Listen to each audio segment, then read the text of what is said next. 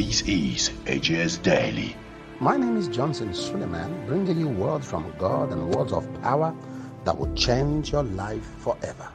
The word of the Lord says in the book of Second Chronicles, chapter 15 and verse 3 Now for a long season, Israel had been without the true God and without a teaching priest and without law. God is a God of times and seasons.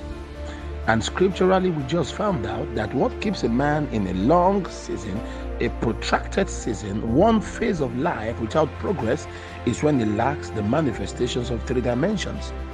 One of them is the true God. When you lack revelation of the true God, then you remain in a protracted long season and wilderness.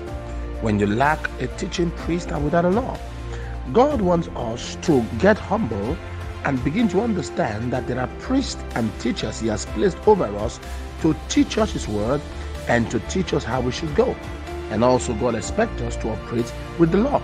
The law in Scripture here speaks of restriction and instruction.